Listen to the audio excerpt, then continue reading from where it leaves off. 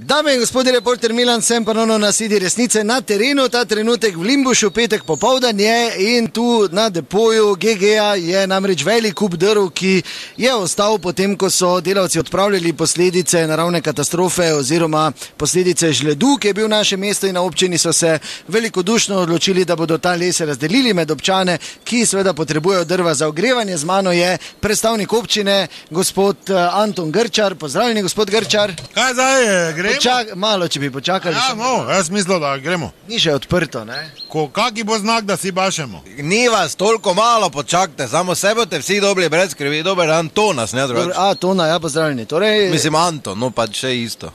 vredo, torej, lepa poteza občine v bistvu. Ne? Ja, v bistvu zelo lepa, ne, če lahko pripomnim. E, res, ker zdaj, mislim, to je še najmanj, kar lahko naredimo. Ne, zdaj, zakaj bi to zdaj mi stran vrgli? Ne? Če je lahko nekomu telesno toplo, pa tudi pri srcu, ne? pa toplo v žepu tudi. Ker danes topel stisk roke. Dobro, hvala lepa, gospod Grčar. Grča, kaj zdaj gremo? Grčar. Ja, no, pač kaj si, kaj zdaj? Je že?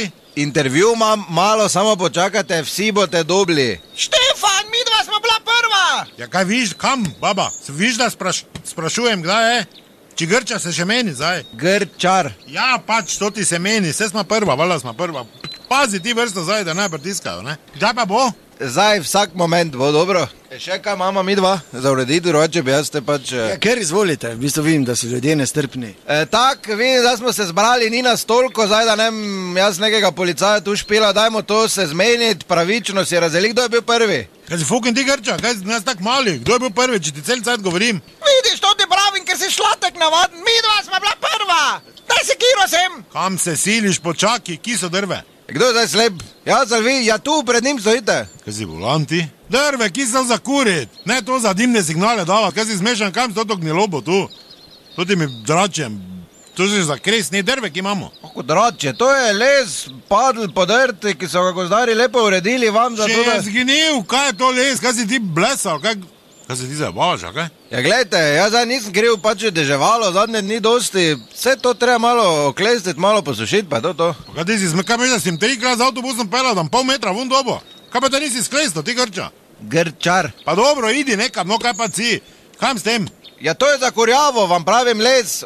Tu si naložite, ki imate prikoli, zakaj pa odpeljite, da bi drugi so na vrsti. Štefan, mi smo bila prva. Kaj te zakoljem? Kaj te zakoljem? Če viš, da ni drv, da je samo toto drače. Ja, te pa srečno pot, kaj naj ne vem. Pa Kaj si, no, kdo je vrno, zdaj sem sem prišel, tvoj cajt pa vse skup. Kaj si zmešan ti? Štefan, dajte tri veje za jaslice vzami. Marš v avto, ti marš v avto! Dobro, drage dame in To je gospodje, da se kaj pozabite, resnica ni se plenica, pa vendar marsikomu smrdi. Čutek, kdo je zbirčnega bo zeblo?